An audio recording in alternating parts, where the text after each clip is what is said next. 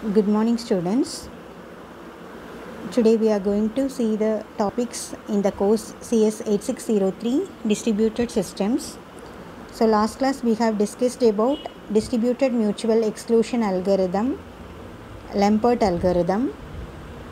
Today we are going to discuss about the second algorithm that is Ricart Agarwala algorithm. What are the objectives of this video presentation means we are going to implement an algorithm for distributed mutual exclusion and we are going to know about the advantages, disadvantages and the performance of Ricart Agarwala algorithm. So the topic is Ricart Agarwala algorithm. Ricart Agarwala algorithm is an algorithm for distributed mutual exclusion and it is proposed by Glenn Ricart and Ashok Agarwala. It is an extension and optimization of previous algorithm that is Lamport distributed mutual exclusion algorithm.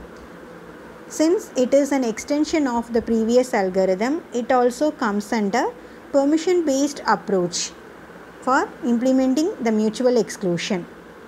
But what's the difference between the first and second algorithm means in the first algorithm we need three messages request, reply and release whereas in this algorithm only two messages are needed request and reply and we assume that all the communication channels are following FIFO order that is first in first out order. Like the Lamport algorithm here also the timestamp is ordered timestamp is used to order the critical section request.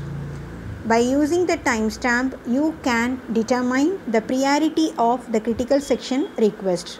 Always we have to give the higher priority to smaller timestamp like in Lamport algorithm.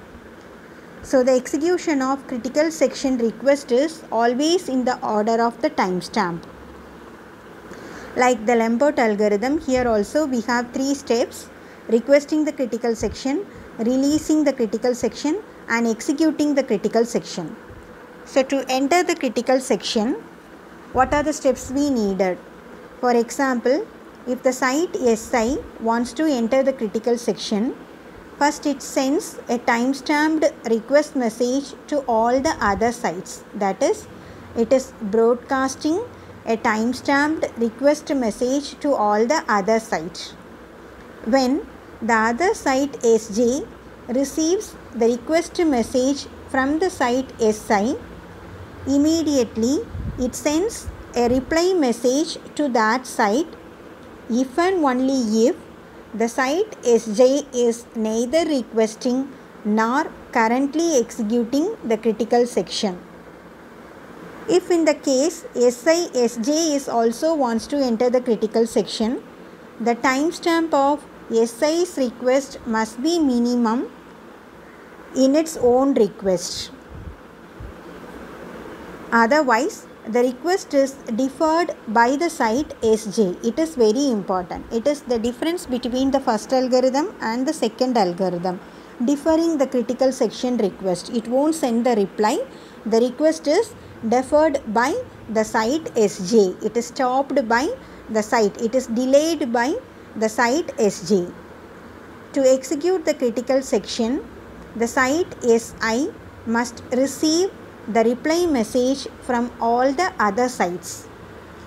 After executing the critical section, SI won't send the release message to all the other sites but it sends a reply message to all the delayed request. It is also the difference between the first algorithm and the second algorithm. So once again the first step that is entering the critical section is very same as the Lamport algorithm.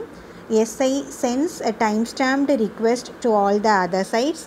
When SJ receives the request message either it can reply the message or it can delay the reply. Okay we have two choices. To execute the critical section, SI should get a reply message from all the other sites. To release the critical section, SI sends a reply message to all the delayed request if any. So that's about the Ricart Agarwala algorithm.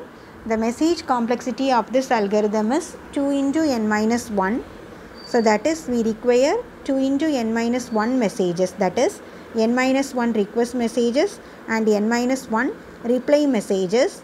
The drawbacks of this algorithm is again it is unreliable approach.